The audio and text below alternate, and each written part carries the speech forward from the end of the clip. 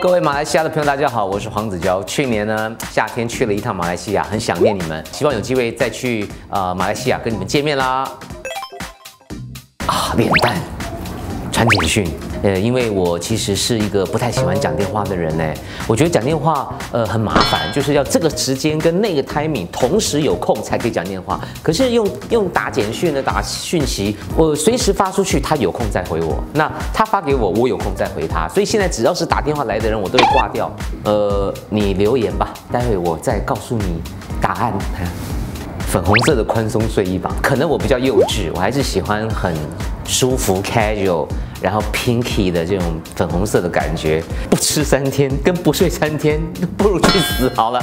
拒绝作答，读心术，主持人其实都是心理学，访问每一个嘉宾都不一样，你一定要了解他的心，才能够做最好的访问。所以我觉得读心术太重要了。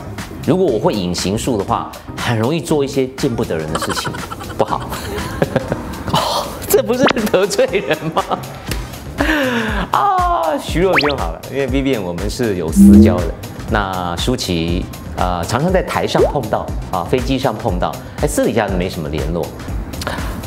狐臭吧，因为口臭我不行，我受不了，我自己每天都都在喷啊，都在喷这个，我很怕讲话的时候有味道。嗯，口臭我受不了，要亲亲嘛。但你不会去亲这里啊？哦，这好难啊！我希望他是迟到狂、购物狂。No，不是说小气，而是有些东西不需要买就不要买，因为那会是一种浪费。